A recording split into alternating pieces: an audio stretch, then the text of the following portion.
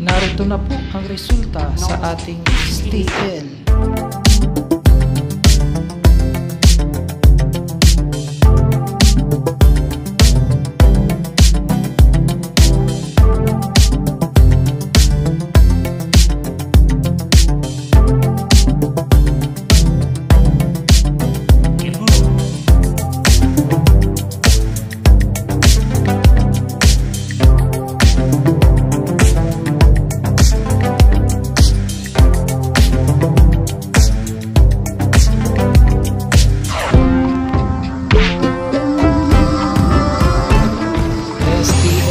Thank you.